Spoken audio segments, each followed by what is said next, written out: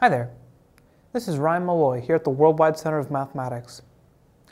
In this video, we're going to discuss how to find the orthocenter of a triangle in easy steps. Now, the orthocenter of a polygon is one of several geometric interpretations of the center of the polygon. And is found by taking altitudes of all the sides and then connecting them at a single point. So the altitude of a side is a line segment that forms a right angle with the side and that also intersects the opposite vertex.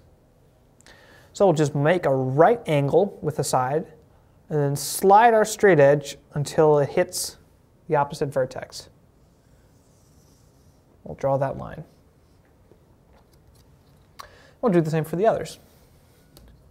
Make a right angle, slide it up until it hits the corner, like so. Draw that line. Okay.